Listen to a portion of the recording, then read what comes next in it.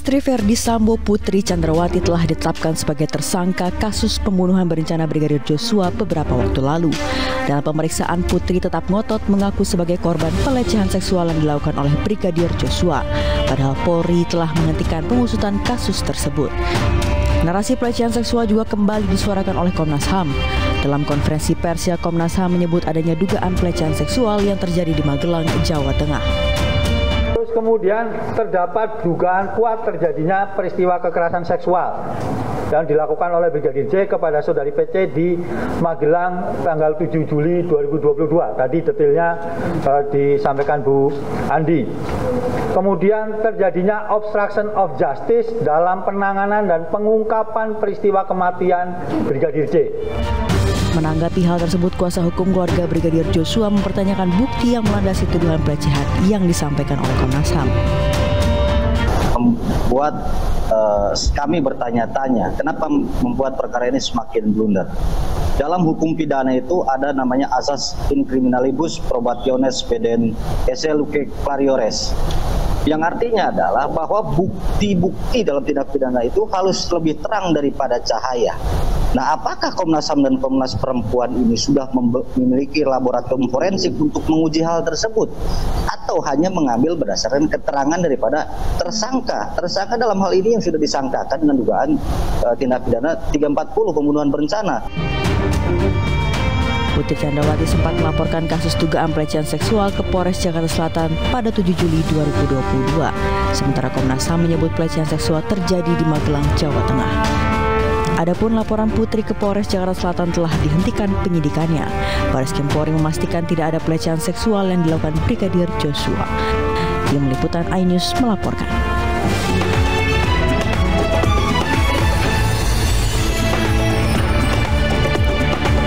Ya, selamat sore pemirsa informasi terkait kontroversi Putri menjadi korban pelecehan seksual. Membuka jumpa kita di iNewsroom Weekend. Saya Aprilia Putri.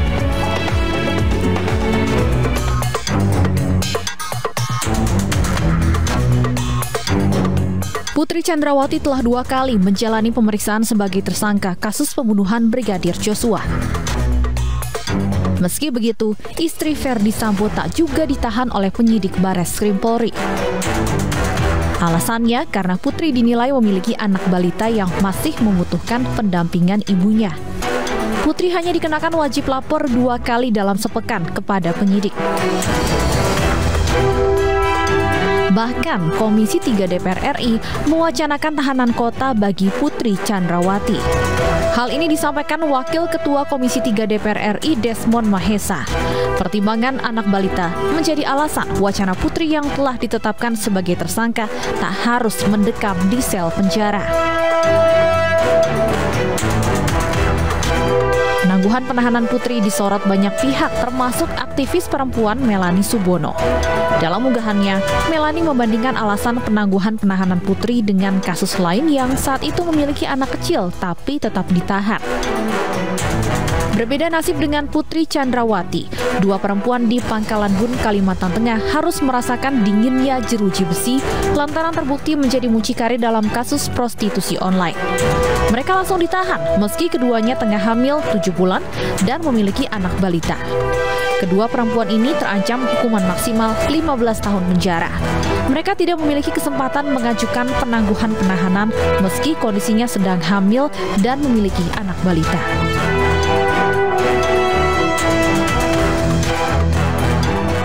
Ya, pemirsa meski sudah dua kali diperiksa dan ditetapkan sebagai tersangka kasus pembunuhan berencana, Putri Chandrawati tak ditahan polisi. Alasan kemanusiaan menjadi pertimbangan. Adilkah ini? Kita akan bahas bersama Ketua Komunitas Civil Society Indonesia, Irma Huta Barat. Selamat petang, Ibu Irma. Ibu Irma, selamat petang. Bisa mendengar suara saya?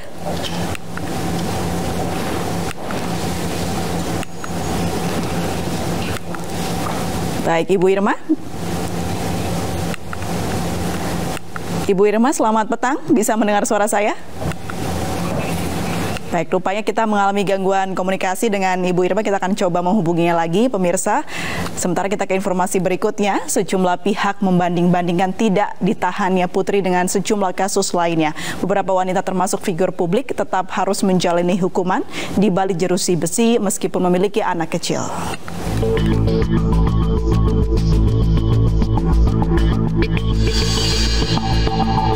Putri Chandrawati, tersangka kasus pembunuhan berencana Brigadir Joshua, hingga saat ini belum ditahan. Alasannya, Putri masih memiliki bayi yang masih berusia satu setengah tahun. Berbeda nasib dengan Putri Chandrawati. Sebelumnya ada banyak wanita dan beberapa artis yang tidak seberuntung Putri Chandrawati. Para wanita tersebut tersangkut kasus hukum dan memiliki anak yang masih bayi, namun tetap ditahan usai menjadi tersangka. Sebut saja mendiang Vanessa Angel. Vanessa ditahan akibat terkena kasus penyalahgunaan psikotropika. Ibu satu anak itu ditahan pada tahun 2020 di rumah tahanan Pondok Bambu, Jakarta Timur. Saat itu Vanessa Angel meninggalkan anaknya yakni Galaskai yang masih berusia 3 bulan. Tahun 2012, Angelina Sondak terlibat kasus korupsi dan terkena sanksi pidana penjara selama 10 tahun. Pada saat itu, Angelina Sondak meninggalkan anaknya, yakni Keanu Masaid yang masih berusia 2 tahun. Ada juga kisah tentang Baik Nuril, seorang guru honorer di Kepulauan. Ada juga kisah tentang Baik Nuril, seorang guru honorer di Mataram, Nusa Tenggara Barat yang menjadi korban pelecehan seksual. Karena merekam percakapan kepala sekolah yang melecehkan, Nuril dijerat Undang-Undang ITE karena dilaporkan pelakunya dan langsung ditahan penyidik pada tahun 2017. Setelah proses hukum yang panjang hingga peninjauan kembali dan Mahkamah Agung memutuskan Nuril bersalah, ia akhirnya bebas melalui amnesti dari Presiden Jokowi. Baik, pemirsa kita kembali terhubung dengan Ibu Irma Huta Barat, Ketua Komunitas Civil Society Indonesia. Selamat petang Ibu Irma. Selamat petang, apa kabar April? Semoga sehat selalu juga Ibu Irma. Ibu Irma melihat wacana Ibu Putri Chandrawati yang tidak ditahan karena alasan kemanusiaan. Apa pandangan Ibu Irma?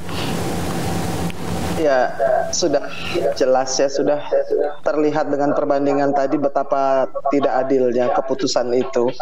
Karena dari awal kan sudah terlihat banyak keistimewaan ya, minta cuti, lalu tidak ditahan di rumah dan kalau uh, penyidik dikatakan mempunyai penilaian yang uh, subjektif ya itu membuat sekarang ini citra kepolisian bertambah rusak.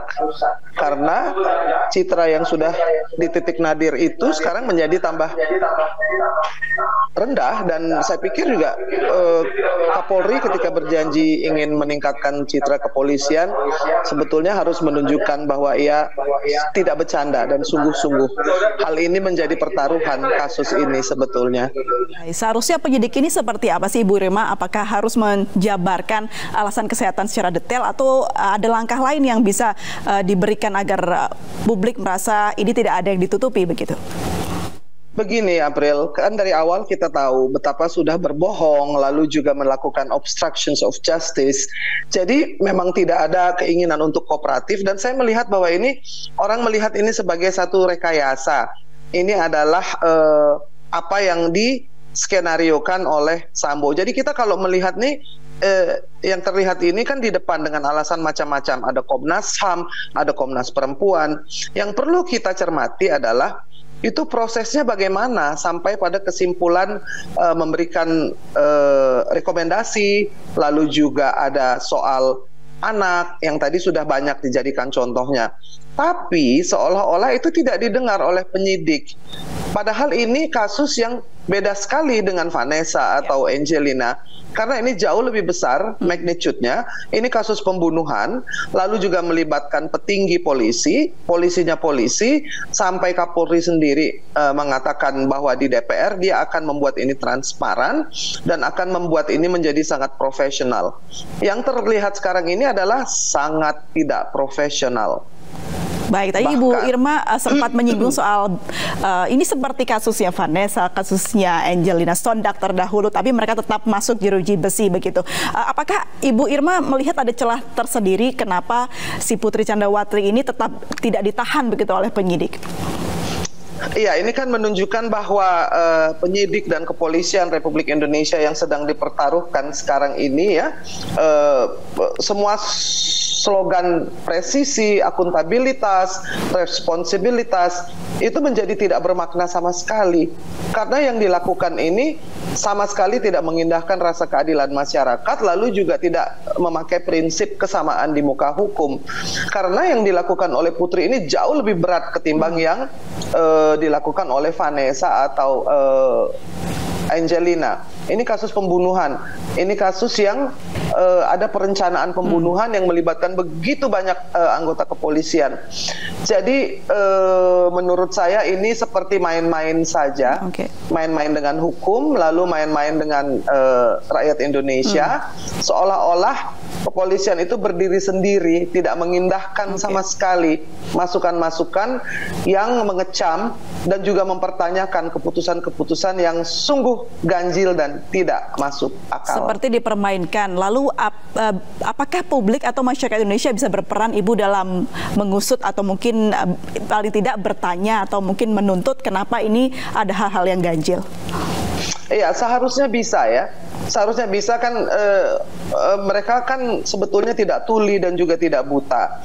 Sekarang ini ketika memakai mulut Komnas HAM dan mulut Komnas Perempuan ya, seolah-olah uh, membuat Putri ini sebagai orang yang depresi, dia memiliki anak kecil, hmm. dia juga memiliki uh, kerentanan jiwa. Yang kita ini lupa gitu. Kalau ada perempuan yang perlu diperhatikan soal mental dan jiwanya itu adalah mamanya Joshua, Ibu Rosti hmm. Simanjuntak yang tidak ada sekalipun dari Komnas HAM atau Komnas Perempuan uh, menanyakan, membahas atau memberikan rekomendasi itu itu ketidakadilan itu jelas. Karena di sini yang namanya korban itu adalah Joshua Huta Barat. Yang paling bersedih itu keluarganya. Tapi kemudian eh, yang mendapat perhatian itu adalah pelaku yang selama ini berbohong, melakukan penghilangan barang bukti, lalu juga memberikan laporan palsu. Ada banyak sekali hmm. daftar dari uh, kejahatan yang sudah dilakukan terang-terangan, tetapi seolah-olah itu tidak memiliki arti apa pun dalam pengambilan keputusan ini. Baik Bu Irma, tapi di sisi lain DPR ini juga mengusulkan uh, untuk Ibu PC untuk dijadikan tahanan kota. Pantaskah Ibu menurut Ibu Irma? Ya tentu saja tidak. Hmm. Kan dia dari pertama sudah memberikan laporan palsu. Lalu juga lupa eh, Putri itu mengambil semua handphone dari ajudannya. Kan yang perlu dipertanyakan oleh parlemen sama Komnas HAM atau Komnas Perempuan, kenapa seorang yang mengaku sebagai korban mengganti semua handphone dari ajudannya, lalu kemudian memberikan mereka uh, handphone yang baru? Lalu kenapa dia menghilangkan uh, handphone itu sehingga tidak bisa dikembalikan. Tapi sebetulnya kalau penyidik mau berpikir itu kan bisa di trace, hmm. provider bisa menyediakan. Pertanyaannya tuh mau nggak sih Oke, okay, baik. Kalau Ibu Irma menganggap PC ini sebagai bagian dari rekayasa awal begitu dan bahkan dia mengambil handphone para ajudannya. Tapi uh, kita ketahui eh, Ibu PC ini terakhir mengungkapkan kalau dirinya dilakukan pelecehan seksual dan hingga dibanting begitu. Respon Anda seperti apa? Itu kayak sinetron yang skripnya berubah-ubah gitu. Jadi kita ini dibikin pembelokan isu hmm. yang perlu dipertanyakan ke mana handphonenya Joshua dan handphone tujuh ajudan. Lalu kenapa ada uh, dana yang uh, bisa mengalir, di mana itu dia punya tabungan, diperiksa dulu dong tabungan. Sekarang ini PP, PPATK membekukan yang namanya uh, tabungan dan rekeningnya Joshua. Yang perlu dibekukan itu adalah Putri, Sambo dan seluruh ajudannya karena mereka tersangka. Jadi kita ini dibawa ke isu-isu yang uh, tidak masuk akal, tetapi seperti orang-orang menggosipkan itu dengan uh, berpanjang-panjang ya kan, substansinya terluput jadinya. Baik, jadi, jadi, men harus jadi diulas saya, lagi ya Ibu ya untuk namanya... mencari keadilan uh, seterang-terangnya begitu karena ini bukan masalah kasus yang biasa sudah bertumbuk-tumbuk serta dimanipulasi sedemikian rupa begitu ya. Betul. April jadi harus dicari bukti hmm, gitu. Bukti Kalau juga. Komnas HAM dan Komnas Perempuan ingin memberikan uh, usulan, itu kan ada aturannya MK bahwa harus ada bukti yang kuat dua. Bukti ini tidak ada sama sekali. Jadi yang ada itu hanya omongannya kuat, okay. omongannya Putri, omongannya Ferdi. Yang jelas-jelas mereka proaktif begitu ya Bu sebagai masyarakat yang sudah melihat ini dari awal hingga akhir juga berperan aktif untuk bisa menguak juga untuk menuntut apa ini yang ditutupi oleh pihak-pihak tertentu dan juga mengawal terus. Terima kasih banyak Ibu Irma sudah bergabung dan berbincang bersama kami. Salam sehat selalu Ibu Irma. Pemirsa Komnas HAM merekomendasikan Polri menindaklanjuti dugaan pelecehan seksual Putri Chandrawati. Sementara Polri telah menghentikan laporan kasus pelecehan tersebut sejak 13 Agustus 2022.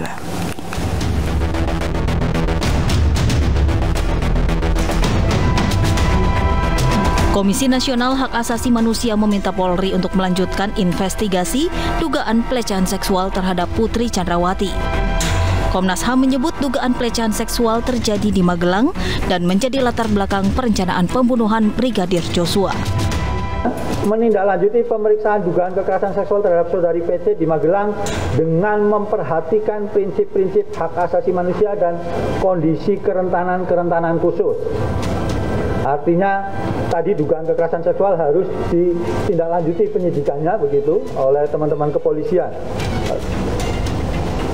Yang ketiga, memastikan penegakan hukum tidak hanya sebatas pelanggaran disiplin atau kode etik saja, tetapi juga dugaan tindak pidana dan tidak hanya terhadap terduga pelakunya saja, tetapi juga semua pihak yang terlibat, baik dalam kapasitas membantu maupun turut serta. Jadi semua kemudian uh, harus ada uh, penegakan hukumnya, bisa disiplin atau kode etik maupun juga tindak pidananya.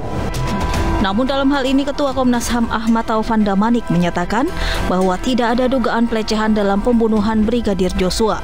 Menurutnya, tidak ada saksi yang melihat pelecehan seksual terhadap Putri Chandrawati juga pelecehan itu juga sejak awal tidak ada saksi yang melihat itu. Uh, jadi yang yang disaksikan mereka adalah tembak menembak menurut mereka kan gitu keterangan Baradae. Jadi saya, saya katakan pada waktu itu berarti soal ke pengakuan uh, adanya pelecehan dan penodongan senjata itu hanya satu-satunya saksinya adalah ibu PC sendiri. Makanya saya katakan itu sumir. Sejak awal sudah saya katakan itu. Nah, tapi kemudian kan dikonstruksi diskusikan lagi. Akhirnya ketemu. Saya bertanya yang paling pertama bertanya itu ya CCTV. Kami yang tanya. Mana CCTV-nya? sudah ketemu belum, Pak? Yang ditemukan itu yang di luar. Di yang dalam, di dalam? sekarang belum ditemukan. Belum. Sementara itu Polri telah menutup laporan dugaan pelecehan yang diajukan pengacara Putri Chandrawati. Menurut polisi, tidak ditemukan pidana dalam kasus tersebut.